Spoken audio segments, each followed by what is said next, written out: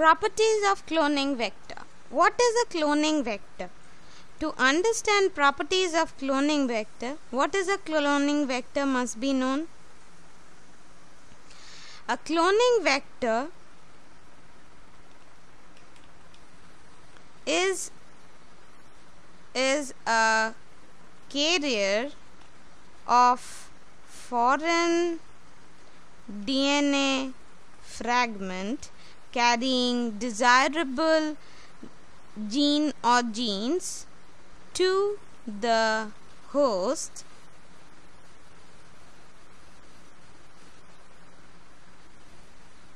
And help in copying help in insertion and copying.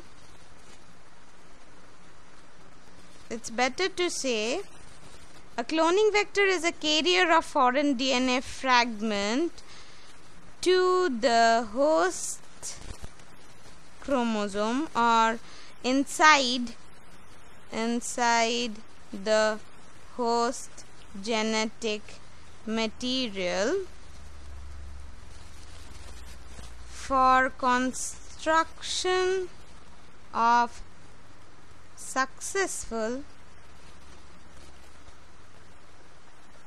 recombinant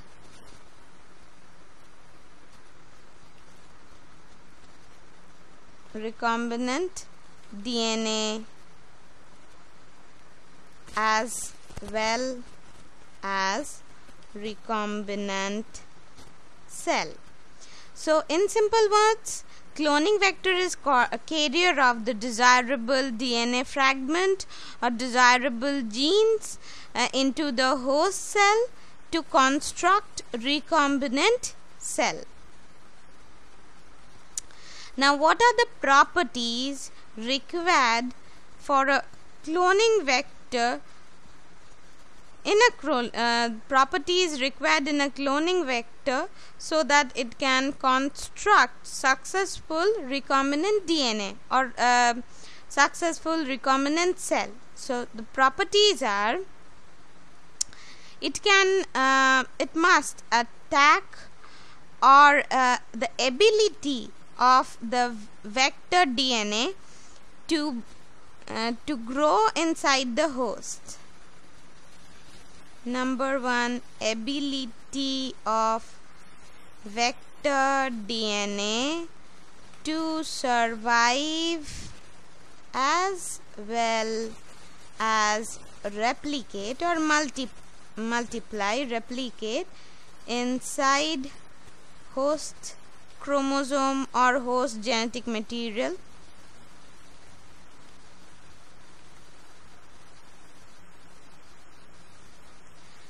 high rate of replication or high copy number. That is ability to multiply at a rapid rate while carrying foreign DNA fragment which leads to formation of many or high number of desirable DNA desirable DNA fragment inside host genetic material host cell. Now what are the features present uh, must be present in ve cloning vectors? Following features must be present. In a cloning vector. These are number 1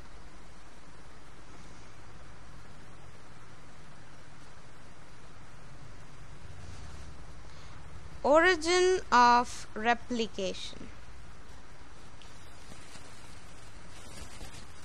origin of replication. Then selectable marker. Then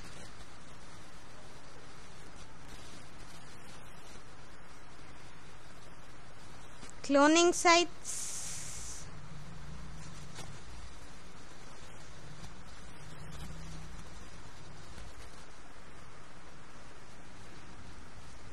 Cloning sites and fourth one vectors for cloning genes in plants and animals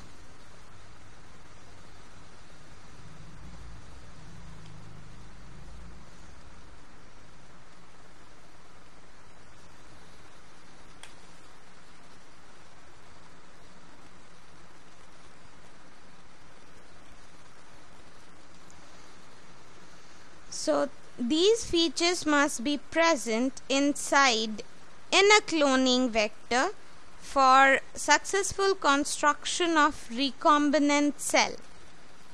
Now, what is the role of origin of replication? It is the site which helps in starting DNA replication as DNA polymerase recognizes this site. So, a cloning vector must contain origin of replication and the desirable DNA fragment must be attached adjacent to this origin of replication so that along with the vector DNA the foreign desirable fragment can also multiply within the host cell. Now one more important point. What are the cloning vectors? Most commonly used cloning vectors. So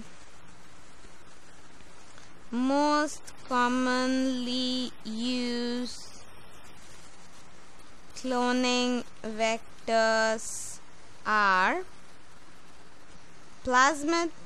I told what is plasmid it is autonomously replicating circular single-stranded uh, extrachromosomal DNA present in bacteria. And next one is bacteriophages.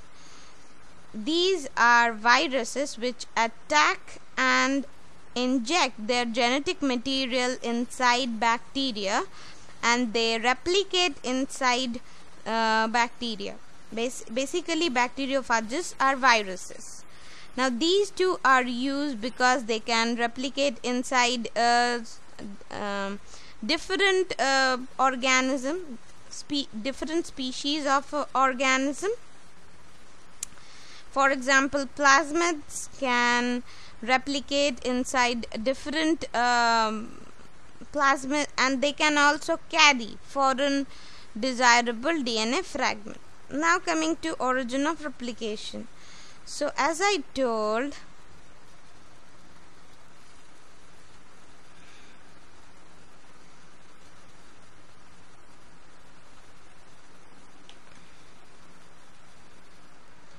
foreign DNA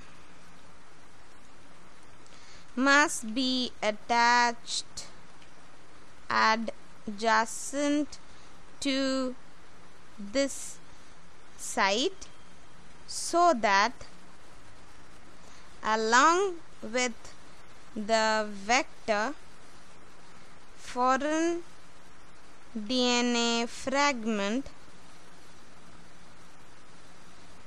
can also replicate in the host cell and the uh, origin of replication type of origin of replication can control the copy number that is the amount of uh, um, uh, desirable DNA fragment reproduced or replicated. Now coming to the selectable marker. So first we must know what is selectable marker.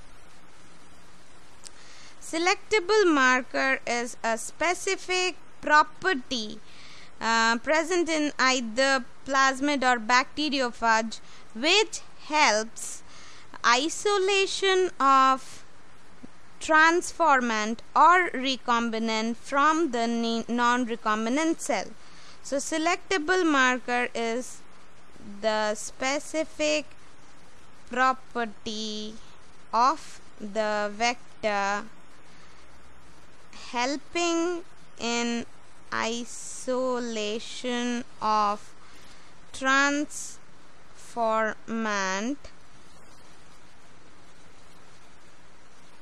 transformant or recombinant from non transformant or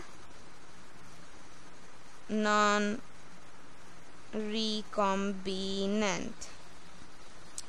So what is transformation? In bracket let me write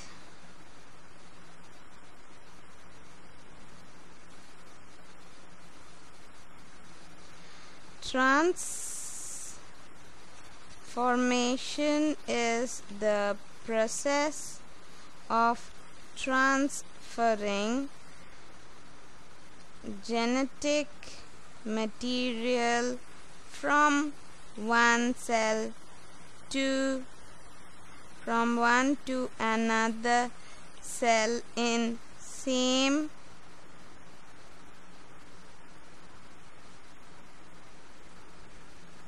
species in bacteria.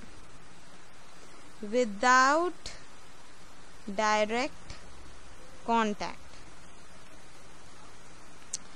Now, I just wrote what is selectable marker. It, it, it is the specific property of, uh, of a vector which helps in isolation of transformant from non-transformant. Now, how selectable marker helps? Basically,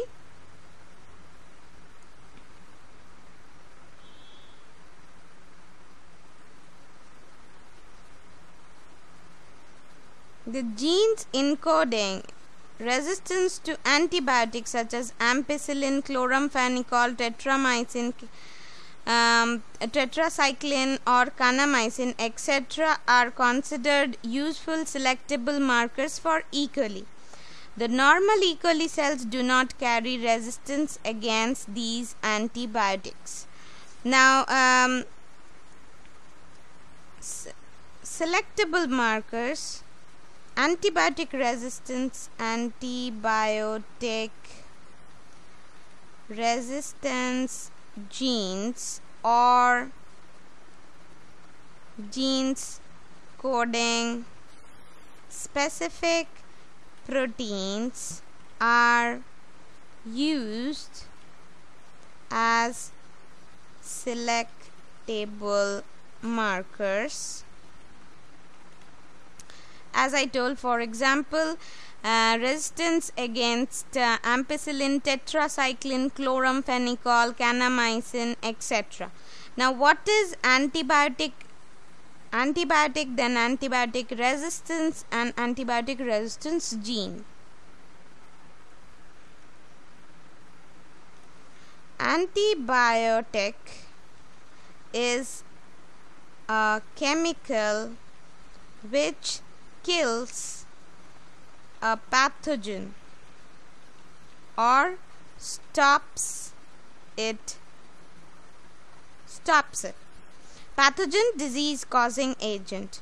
Now coming to antibiotic resistance. Antibiotic resistance is a property shown by a pathogen by stopping the action of antibiotic and also means ability to grow in presence of an antibiotic now coming to antibiotic resistance. Gene is the gene which controls which helps which helps a pathogen to grow in presence of antibiotic. So if i say AMPR for example A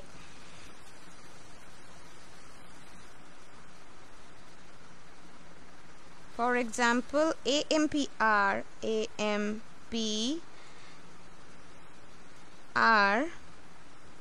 means ampicillin resistance gene ampicillin resistance gene means uh, if I say E. coli contains or suppose a uh, bacterium contains AMPR that means it contains ampicillin resistance gene that means uh, that will grow in presence of ampicillin a cell or path pathogen or vector anything. So AMPR if a vector is containing AMPR gene that means ampicillin resistant genes that means that specific vector will grow in presence of ampicillin. So here you can see AMPR and TTR genes